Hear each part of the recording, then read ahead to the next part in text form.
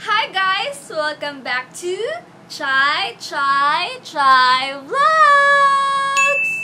So, this is my fifth video! Yay! In today's video, isi-share ko sa inyo yung unboxing ng aking bagong ring light. So, papakita ko sa inyo kung ano yung kasama sa set and kung ano yung features na meron siya. So, if you're interested, keep on watching! Na-receive ko yung package ko ng naka-bubble wrap at saka naka-box. So, bubuksan na natin siya.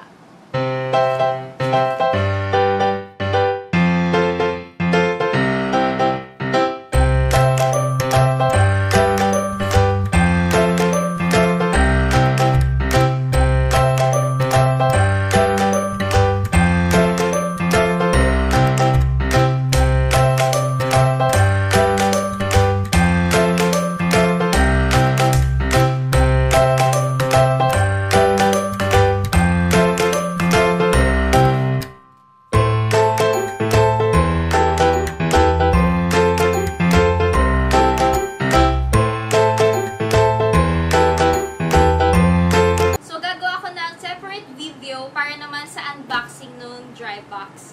So, super excited na ako buksan tong ring light. So, tara! Ano na siya?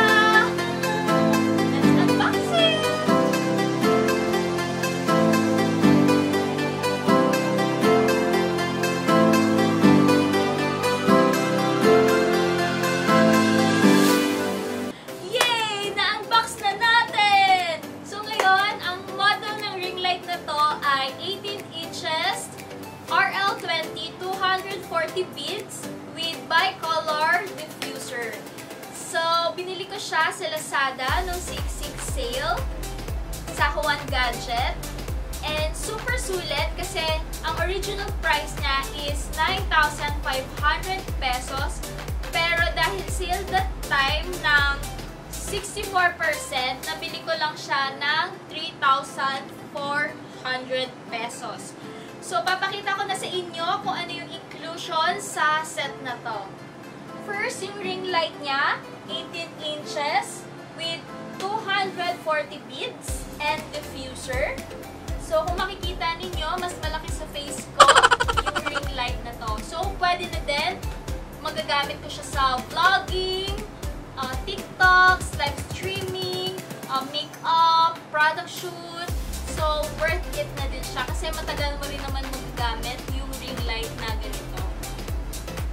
Makikita mo din dito, on and off switch with adjustable brightness. So, yung socket niya is meron siyang orange diffusers, phone holder, symbol para sa mga DSLR, handbag, standy niya.